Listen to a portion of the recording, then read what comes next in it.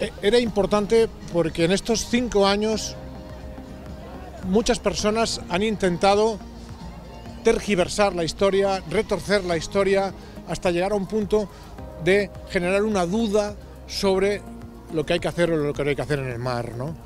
Eh, cuando la ley del mar es muy clara, es una ley ancestral, ¿no? Hay que proteger la vida en el mar, ¿no? Y, y, y los rescatamos y los devolvemos en tierra. Si, si, si esto genera un problema, tendrán que solucionarlo los intelectuales de este país y los políticos de este país. La solución no es dejar morir a la gente en el mar. La inacción deliberada de la Unión Europea en, este, en este tema, en esta materia, es flagrante. ¿no? Y, si, y si la ciudadanía responde, porque Open Arms son unos ciudadanos que deciden hacer algo. ¿no? Y, detrás de Open Arms hay muchos ciudadanos que deciden hacer desde su, desde su trabajo diario algo por la causa. ¿no? Tenemos actores de cine que podrían hacer otras películas muchísimo más caras con, con proyecciones a sus premios y deciden hacer esta.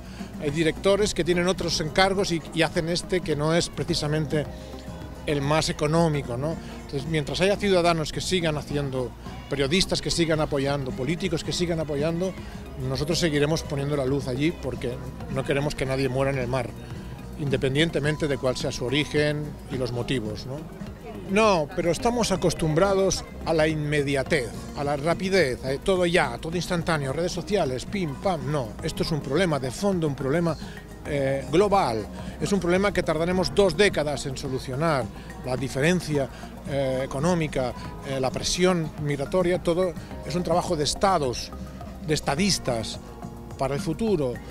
Y tenemos que educar a estos estadistas. No existen hoy en día, son mediocres, no, no, van a arreglar nada. Tenemos que educar, es nuestra responsabilidad, la tuya, la de todos los padres, educar a nuestros hijos porque ellos van a encontrar una solución a corto plazo. Llevan 80 años intentando acabar con el hambre en África, 80 años. Ah, cosa fa. Eh, eh, tenemos que educar nuevos líderes, ¿no? Con otros valores, porque lamentablemente no hay valores hoy en día, ¿no? Y yo creo que, hay que trabajar para el futuro. Y esto es un granito de arena que ayudará a que la balanza se desplaza un poquito, ¿no? Nunca sabemos qué acción va, va a repercutir, qué, qué, qué, cosa va a hacer cambiar, ¿no? No lo sabemos, hay que hacerlo todo. Si esta película igual sirve, igual no, no lo sé, pero hay que hacerla, ¿no? Muchas gracias.